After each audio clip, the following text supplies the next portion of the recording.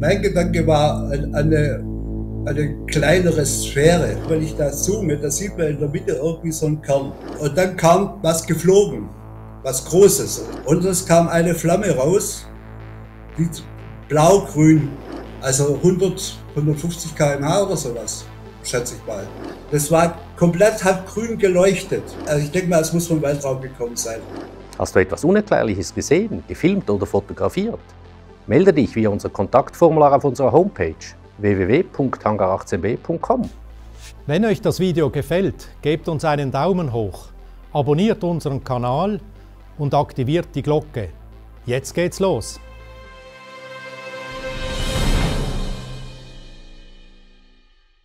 Hallo da draußen. Heute haben wir einen weiteren UFO-Zeugen. Wir sprechen heute mit Johannes. Hallo Johannes. Hallo Johannes. Hallo Johannes. Hallo, Hallo zusammen. Schön, dass Freund. du dir die Zeit nimmst. Danke.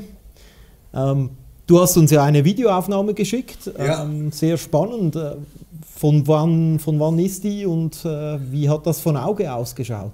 Also die ist äh, vom 24. September das war ein Freitag, ich habe gerade das nochmal auf dem Handy geguckt.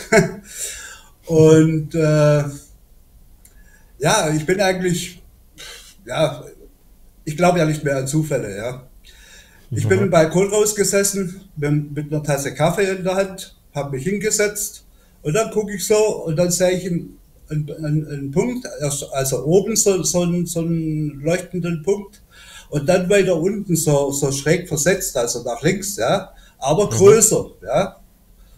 Und da denke ich, naja, Stern sieht eigentlich nicht mit nach, nach irgendwie einem Stern aus. Das obere ja, aber das untere eigentlich nicht. Ja. Hab dann nicht weitergeguckt, habe halt dann noch geraucht, also beziehungsweise meine Dämpfe und Kaffee getrunken. Und dann merke ich auf einmal, ist das Licht weg. Ja, ich habe nicht gesehen, wie es weg war, sondern war weg. Mhm. Und da habe ich hingeschaut und dann kam es wieder. Ja. Und dann bin ich in mein Zimmer gerannt und habe das Handy geholt. Ja? Und dann habe ich mich hingestellt. Und dann habe ich das gefilmt. Das sieht man ja, wie es dann auch mal gezoomt wird. Ja, und das mhm. so ein, zwei Minuten lang. Ja, also circa äh, zwei Minuten.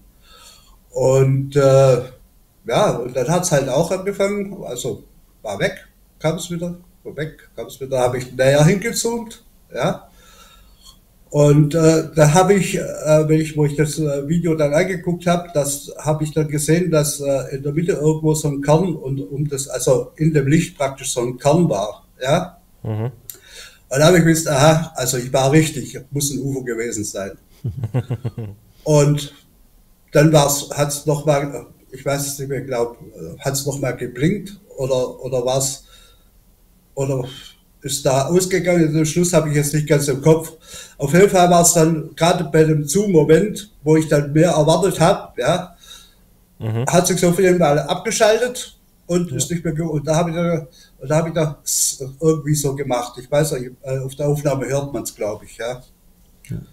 Und ja, das war es eigentlich. Also, wo es war die Richtung, äh, es bei uns, also, also es hat ausgesehen, wie wenn es über einem Windpark steht. Ja. Mhm. Aber ich glaube nicht, dass es der Windpark jetzt direkt war, weil der Windpark ist schon eigentlich ziemlich nahe. Was heißt ziemlich nahe? Ist schon auch so zehn Kilometer weg, ja, so ungefähr sieben, zehn Kilometer Luftlinie. Aber das, äh, das, die Sichtung, also das UFO, das muss noch ein bisschen weiter weg gewesen sein. Wenn, mhm. wenn man dort, wo ich rausgeschaut habe in die Richtung, dann sieht, guckt man praktisch Richtung Heidenheim. Ja, also das ist die Richtung.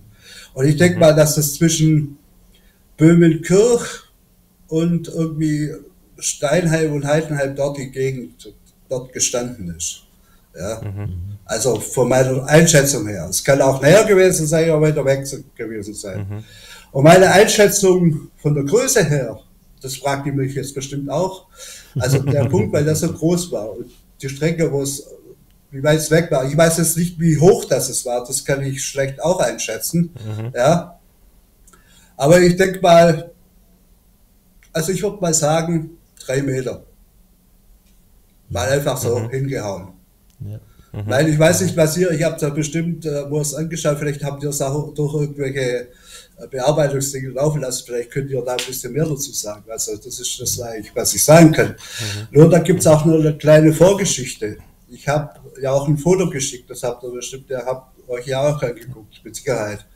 Wo da so, da habe ich ja geschrieben, da haben so Sprühflugzeuge ein UFO in den Himmel gemalt. Es waren drei Flugzeuge, mhm. drei Sprühflugzeuge. Mhm. Zuerst habe ich zwei gesehen und das war äh, am, 14, am 14. oder am 13. September, also praktisch zehn Tage vorher.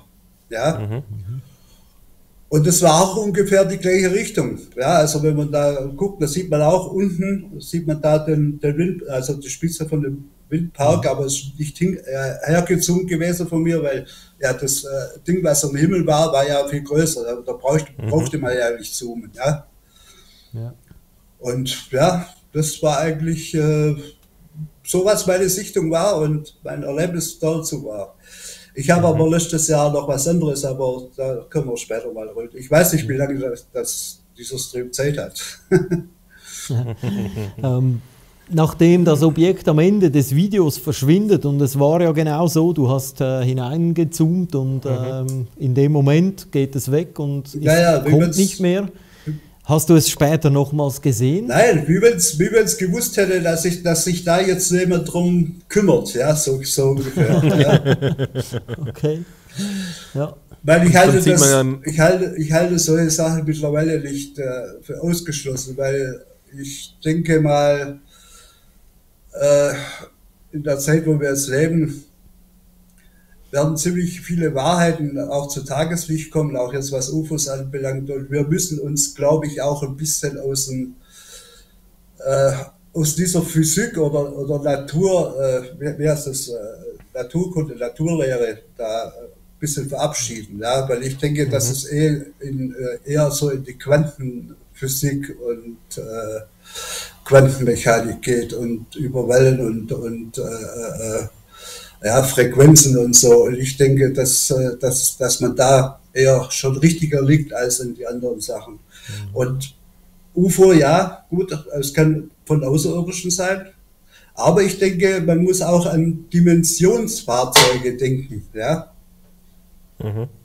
Also mein Gedanke jetzt. Ich kann es nicht beweisen, mhm. aber wie gesagt, äh, mir scheint das äh, so, weil es gibt auch Dimensionswesen und daher denke ich mal, mhm. ob wir da schon in die Richtung gehen können, müssen, dürfen. also, ich habe noch eine kurze Frage zu deinem Video, wo du uns geschickt hast. Da sieht man so drei äh, leuchtende rote Punkte. das ist der Windpark. Ist ja, so Windpark, das sind die, die, die Masten, wo oben blinken. Das ja. ist halt für die Nacht. Okay. Weil das war, äh, wie gesagt, September, wie wird es da gewesen ja. sein? 20.30 Uhr so. Und in der Dämmerung mhm. war das schon, ja. Mhm. Mhm. Ähm, Hast du dann irgendwelche Geräusche noch gehört? Also klar. Nein, das war, das war viel zu weit weg. Selbst wenn es Geräusche ja. gemacht hätte, hätte ich es wahrscheinlich nicht gehört. Ja. Und, das, wie gesagt, ja. das war an einem Punkt die ganze Zeit, wie ich es beobachte, schon im Sitzen, wo ich, äh, wo ich da gesessen bin, ja. Mhm. Und wo ich dann reingehe, war es dann noch immer noch da. Und das hat dann, ich weiß jetzt nicht mehr, wie, wie viel Mal das im Video zu sehen ist, das, das äh, äh leuchten und dann wieder abschalten und dann wieder kommen. Also zwei, drei Mal war es bestimmt, ja. ja, ja. Mhm. Und äh, da habe ich schon, habe ich, also da wäre ich mir schon sicher, dass es ein UFO sein muss, weil wie gesagt, äh, und, und vor allem die Stärke von dem Licht und drum, rund drumherum und erst, wo man reingezogen hat, man irgendwas gesehen und ich glaube nicht, dass mhm. es ein Helikopter war, weil das ist mhm. stur steif äh, am Dings gestanden und bei Helikopter denke ich mal, dass da wahrscheinlich mal gerade beim Zoomen ein bisschen eine Bewegung gesehen hätte. Ja. Ja, also du hast keine Bewegung gesehen. Für dich stand das am, nee, nee, am das, gleichen Ort die das, ganze Was man Zeit. jetzt zum Beispiel sieht auf der Kamera, wo es sich da bewegt, das ist das vom Zoomen. Ja. Und vom, ja. vom Balkon stehen und von dem freihändig halten, ja, das Zittern. Aber da, es war sowieso nicht so arg, also ich habe mir Mühe gegeben. ja, ja, nein, es ist eine gute Aufnahme, ja. Äh, man könnte das ja als klassisches UAP äh, beschreiben. Kann man auch, Und also ich würde das jetzt... Das war äh, ja ein Licht? Das, aber das Licht hat alles überstrahlt, das heißt, du konntest keine Form sehen. Ja, Richtig. am Anfang nicht, aber erst wo ich dann reingezoomt habe, da war es mal so, also wenn man auf dem Video, also wenn man das Video anguckt mhm. und dann bei der Schlusssequenz mal guckt, dann sieht man, wenn ich da zoome, da sieht man in der Mitte irgendwie so einen Kern. Ja. ja. ich denke mal, also wie hat das so ausgesehen, also mein Gedanke war eine, eine kleinere Sphäre. Ja, mhm. also schon als Sphäre mit dem, also die Sphäre als Kern, aber drumherum halt das, mhm. das, das gralle Licht. Das Licht. Ja, mhm. ja, ja, mhm. alles klar. Ja. Hast du die Tage danach im Internet äh, gesucht, ob, ob das auch jemand gesehen hätte oder ob da irgendwo was berichtet wird? Nein, eigentlich nicht, weil äh, es ist so in der Regel. Es müsste normalerweise noch jemand gesehen haben. Ja, aber viele, erstens traut es nicht und zweitens viele äh, ich sage immer, äh, die Ungläubigen, ja, die, die glauben das erst, wenn es denn vor der Latz geklallt wird. Ja, das ist genauso wie jetzt in den Zeiten, ja, die glauben halt die Sachen, was sie glauben wollen und die anderen Sachen, wo halt ja. nicht sein dürfen, ja, die glauben sie halt nicht. Ich habe so ein Motto, das heißt, es gibt nichts, was es nicht gibt. Mhm. Das heißt, das somit so. gibt es alles. Was man sich nur vorstellen kann, gibt es irgendwo. Sobald man eine Energie reingibt, automatisch ja, genau. ist der Funke gezündet. Ja, und irgendwann erscheint halt irgendwann sowas. Ja. Das glaube ja, dann ich. Hoffen wir, dann hoffen wir, dass das jemand sieht und sich bei uns meldet, wo ja, das auch das gesehen cool, hat. Ja. ja. vielleicht jetzt durch das, ja. vielleicht äh, der, wo euch auch guckt, wird bei uns in der Nähe, ich wird wahrscheinlich im Raum Schwäbisch Gründig der Einzige sein, wo, wo euch schaut. Ja. nicht, ja, ja. Aber ich du hab, hast ja gesagt, du hast noch was gesehen. Ähm, ja, das war letztes Jahr im Sommer. Das war, was, zuerst habe ich es gehört, bin erschrocken und dann habe ich es gesehen und da es so schnell war, konnte ich äh, kein Handy mehr holen und weil mein Handy nicht neben dran am Tisch gelegen ist, äh, war es mir möglich, unmöglich zu filmen oder zu fotografieren. Und zwar war es so, ich habe ein Geräusch gehört. Ihr wisst ja, wie sich das anhört, wenn man dampft. Da blubbert es doch zuerst, mhm. ja. Mhm. Und es war genau so ein Blubbern, nur viel lauter. Also wie wenn irgendwas, äh, eine Flüssigkeit verbrennt oder so, ja. Aber viel mhm. lauter, ja. da habe ich gedacht, wo das, wo das laut war, es hat ein bisschen gedauert und dann kam was geflogen, was Großes. Also es hat ausgesehen wie, also nicht riesengroß, sondern ungefähr so groß wie, wie, wie das Regal hier, so, ja, wie groß, 70, 70, 70, 80 Zentimeter groß, ja, mhm. in der Länge. Und das hat ausgesehen wie, äh, wie, wie eine, äh, wie eine Rund, Rundpyramide. Oder man kann es besser erklären, wie, wie, so ein Springkopf von einer Rakete. Also praktisch mhm. eine Raketenspitze. Nur vorne abge, abgerundet. Ja? Mhm. Aber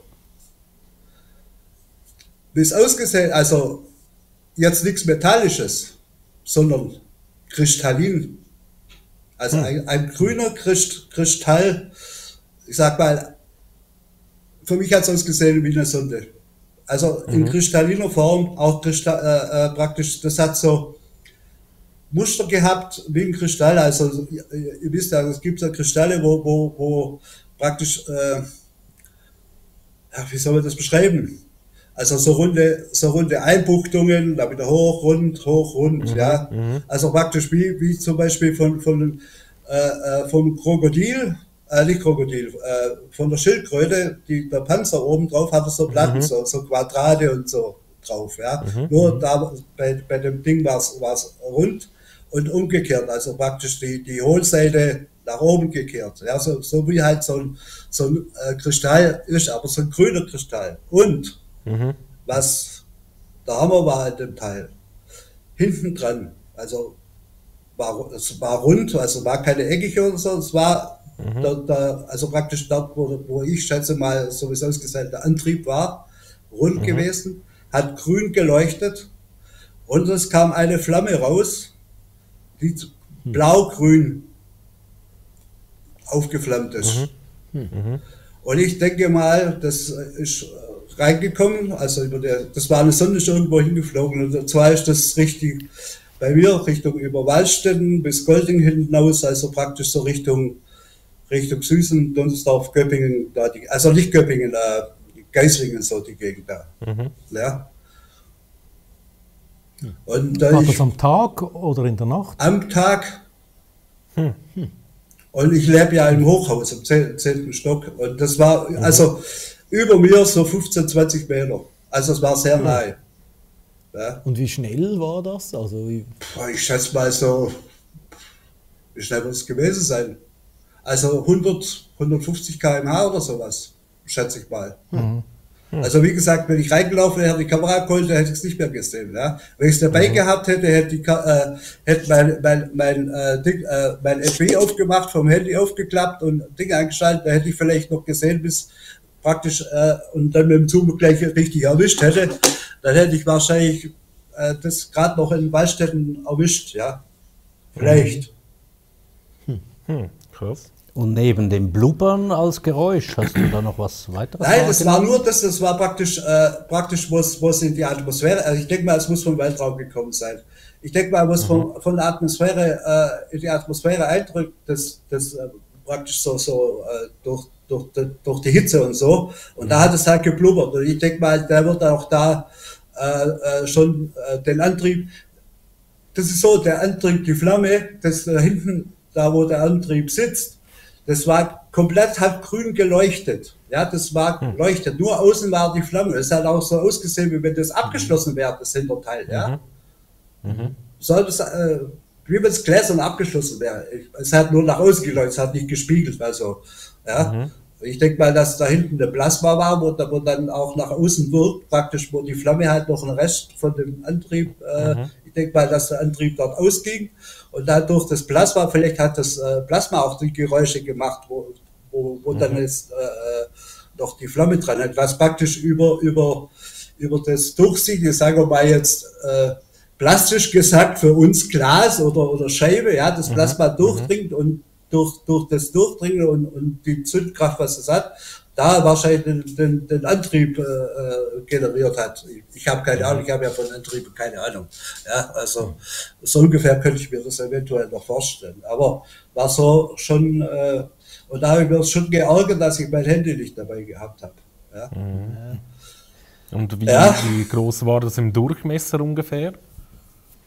Ich schätze mal, so grob geschätzt, 40, 30, 40 Zentimeter. Also doch schon äh, ein, also ein, gu gutes Kaliber, ja.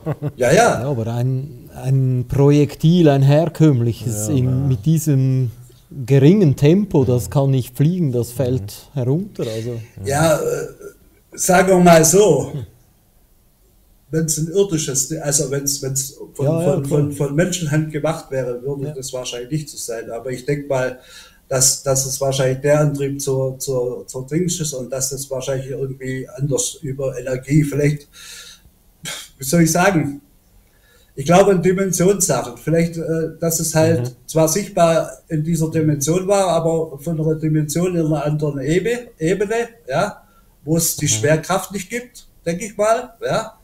Also praktisch von, von der dritten Dimension in die vierte, und wir sind ja in der dritten Dimension, mhm. dass es da vielleicht Ebenen gibt, wo man sich vielleicht auch bewegen kann und da keine Schwerkraft gibt, aber von in der vierten, äh, in der dritten Dimension man dorthin sehen kann und das dann sehen kann.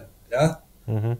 Praktisch von der, von der, vom Weltraum rein, von der 3D und dann rüber in das Ding, Antrieb aus mhm. und dann auf der, auf der mhm. Dings, äh, auf der anderen Ebene äh, mhm. geflogen ist. Ja. Und, äh, das nur Spekulation, aber ich denke halt. Ja, ja, klar, klar. Ne, dieses Blubbergeräusch hast du die ganze Zeit über gehört? Wo das nein, nein, das war nur beim, beim Eintritt. Das beim, hat okay, richtig, richtig, richtig stark, also richtig laut ja. ge geblubbert, das hat richtig Gehalt hier, ja. Ich bin ja, deswegen ja. sage ich, ich bin ja erschrocken, ja. Und dann auf ja. einmal kommt das Ding, aber dann war es schon ruhig, ja, war nur hm. Tschüss, ja. Okay. Also meine ja. Schätzung ist mit 100, es kann auch schneller gewesen sein. Ja, ich ja, will jetzt klar. nicht, äh, aber sagen wir mal so, sagen wir mal, wenn es schnell war, zwischen 100 und 300 Kilometer. Okay? Mhm. mhm. Ja. Und da könnte sowas auch noch, wenn es mit dem Antrieb, wenn der Antrieb äh, vielleicht jetzt ausgeschaltet hat, muss es ausschalten, damit es auf eine bestimmte Höhe kommt. Weil mhm. der ist ja nicht gleich, also praktisch, der ist dorthin geflogen, aber der ist ja nicht abgefallen. Das ist nicht so, wie wenn mhm. jetzt zum Beispiel ein, ein, ein äh, nicht Komet, ein, ein äh, Meteor, Meteorit, ja, Meteorit, ja. ja. in die Atmosphäre rein, der verglüht dann, entweder verglüht er, wenn es dann größer ist, dann fällt er mhm. irgendwann zu Boden. Ja. So mhm. was war das nicht. Das war was mhm. Gesteuertes. Ja. Entweder das ist dort irgendwoher geschickt worden und dann von dort, wo es, wo es jetzt praktisch hingeflogen ist, wahrscheinlich von dort weiter übernommen worden, dort, wo es hin mhm. soll. Und wir wissen ja, es gibt da so Untergrundsachen und ich denke mal, das, was da gekommen ist, das war nichts Gutes. Ja. Mhm. Hattest du früher vielleicht in deiner Kindheit schon äh, solche Nein, aber, Erlebnisse ich, gehabt? Nein, also ich habe, ich hab, sagen wir so, mit UFOs fing es bei mir so an. Ich war ungefähr 14, 15 Jahre. Und da bin ich beim Arzt gesessen. Ah, nee, das war, nee, halt, das ist falsch, falsch, was ich sage. Ich war noch jünger, ich war jünger, ich war, äh, glaube so 10, 11 Jahre rum. Ja, und da hat man so bei uns, so, bei den Jungs, wir haben da nichts äh, mit UFOs oder so zu tun gehabt. Ich bin nur mal in der Arztpraxis gesessen und habe äh, Spiegel oder Stern was das war, habe da so durchgeblättert und da kam so ein Bericht, Erich von Däniken, und da kam ein großes mhm. Foto von so einer, von so einer, äh, von so einer, äh, von so einer Flugscheibe, also ein Bild, wo so eine Wolke, wo eigentlich ein UFO darstellen sollte. Mhm. Ja, weil heute weiß, weiß man ja, dass äh, UFOs sich manchmal auch in solchen Wolken verstecken, ja, also als Tarnung oder mhm. so. Ja, und da habe ich halt den Bericht gelesen, da bin ich auf den Erich von Däniken gekommen. Und von da an war ich im, im UFO-Thema schon ein bisschen drin. Und äh, sagen wir mal so, ich habe schon immer geglaubt, dass äh, die Welt, äh, äh dass, dass es, äh, wie soll ich das sagen, schwer zu sagen, was ich da sagen will. ja, äh, dass halt alles irgendwie doch anders ist, als wir das so sehen. Ja, habe ich schon als mhm. Kind. Ja, ich war äh, Raumschiff, Raumschiff Enterprise, wenn wir gespielt haben. In Baustellen haben wir uns, uns so die, die Dinger da und ich war immer gern der Captain Kirk, ja, so, solche Sachen, ja. Und irgendwie war, ich habe das nie verloren, ja. Johannes, vielen, vielen Dank. Das war sehr, sehr spannend. Danke ja. für deine Zeit. Ja, kein Problem, gerne. Ja, wenn ich wieder was sehe, melde Und für die Offenheit. die Offenheit. Aber wenn ihr irgendwelche Fragen habt, könnt ihr mich auch äh, kontaktieren. Selbstverständlich, Natürlich, gerne, ja. ja. Dankeschön. Vielen Danke, Dank, ja. ja. Alles hat mich Gute. auch gefreut.